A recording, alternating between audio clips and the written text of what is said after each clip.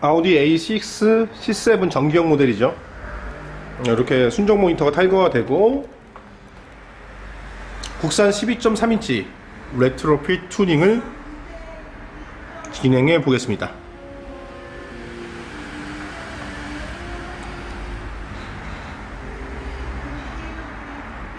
아우디 A6 뭐 후기형 전기형 모니터 빼는 방법은 동일한데요 이렇게 해서 원래 인슬라이딩으로 나오는 모니터인데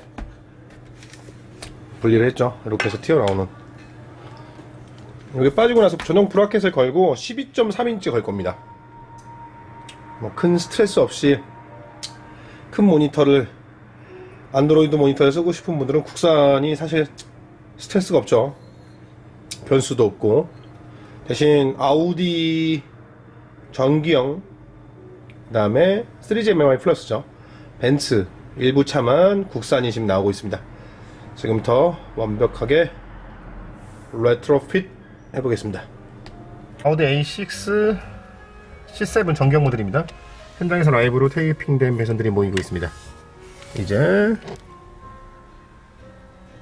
12.3인치 국산 모니터를 조립해 볼게요.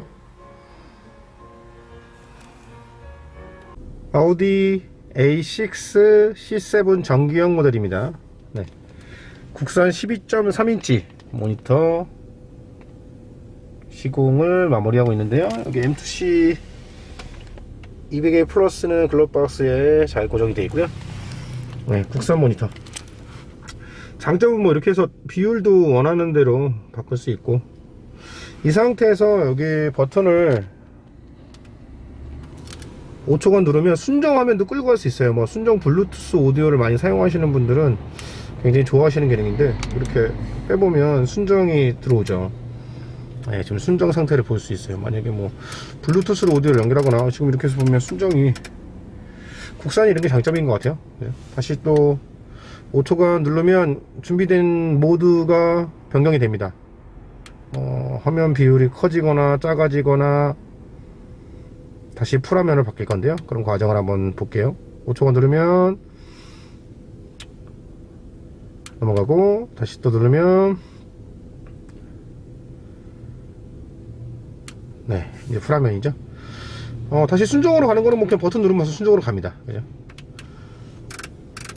외부 오디오 입력을 선택하고 네, 하면 바로 이제 소리도 나죠 내비 버튼 3초간 누르면 준비된 화면으로 넘어갑니다. 여기서 쭉쭉 당기면 쭉 전체 풀화면도 되고 여기서 GPS는 어떤지 뭐 순정을 사용하기 때문에 굉장히 안정적인 수신을 보이고 있어요. 그죠? 어, 회원 오차도 굉장히 작고요.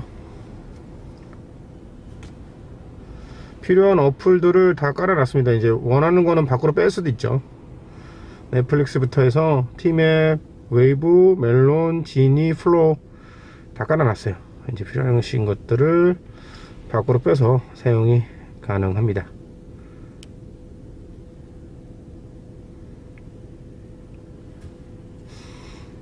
구글 플레이 스토어가 있으니까 더 필요한 것들은 깔면 돼요. 네.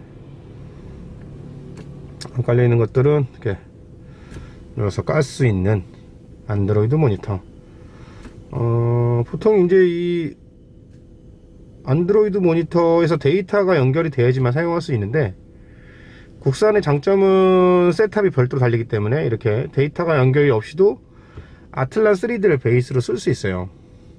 그게 큰 장점이고 그 다음에 지금 요 보시면 스피커 아이콘 보이죠? 스피커 아이콘을 눌러서 얘를 활성화 해 주면 이렇게 자체 스피커 안에 들어있어요. 그러니까 순정 라디오나 블루투스 오디오 들을 때는 얘를 활성화해 놓으면 티맵이나 아틀란 음성을 별도 들을 수 있겠죠?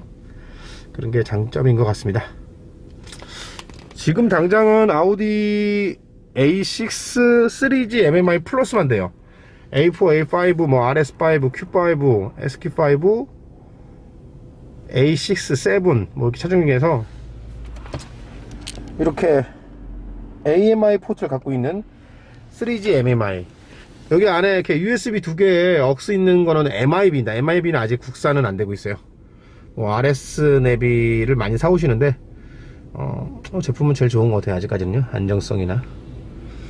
네, 지금까지 아우디 12.3인치 국산 모니터 전문 시공 안드로이드 킹덤 카아티스트 캡티노